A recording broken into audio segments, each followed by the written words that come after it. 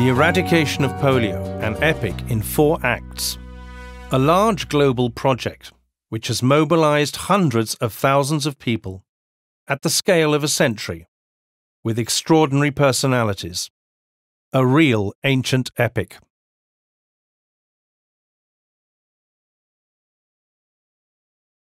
Act 1 1950 to 1980 Vaccines and their inventors. Poliomyelitis is a disease described since 1840, whose virus was discovered in 1908 by Landsteiner. It is primarily a gastroenteritis which can be complicated by paralysis and which is met in poor sanitary conditions.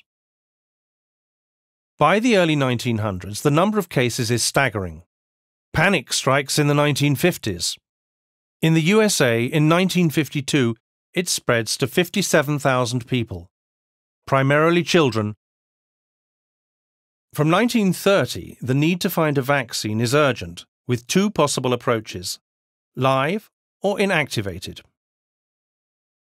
Jonas Salk, a university researcher, is the first to develop a vaccine containing the three IPV polio serotypes.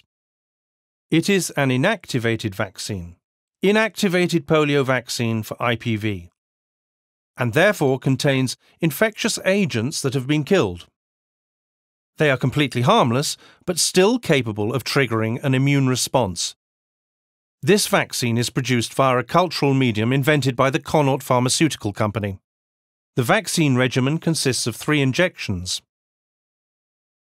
In April 1955, the largest clinical efficacy trial ever conducted is organised in the USA, with close to 2 million subjects. It's the Thomas Francis trial. The vaccine is acknowledged safe and effective. Salk becomes immediately a star.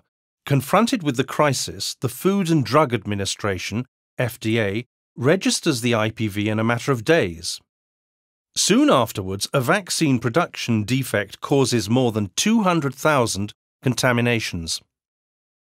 This is the Cutter incident, named after the involved company. Vaccination is interrupted and the IPV's image is tainted. In parallel, Albert Sabin, a leading American physician and researcher, develops an oral vaccine that only needs to be taken once. The OPV for oral polio vaccine.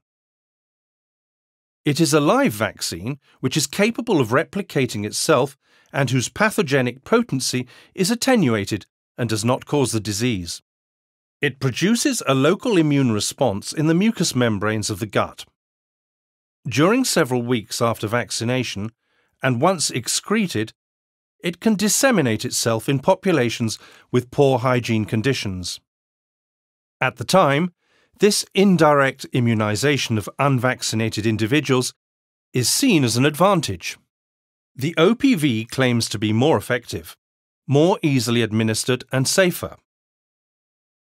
Sabin, in order to demonstrate the efficacy of his vaccine, reaches an agreement with the USSR in the middle of the Cold War, involving the highest levels of the Politburo. The OPV is thus developed in the Soviet Union before being used in the USA. The FDA registers the monovalent version in 1961 and the trivalent version in 1963. It should be noted that as early as 1963, the first case of VAPP paralysis associated with OPV vaccines is described. OPV replaces IPV for a long period of time, but its efficacy is not documented in tropical environments.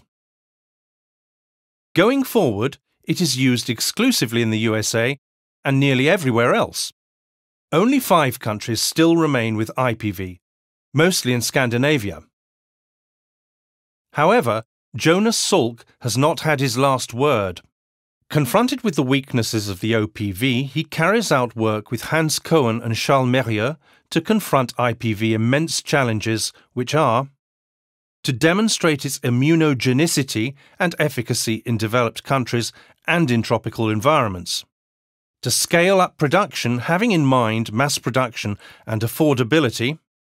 to standardize its potency tests, to obtain the marketing license.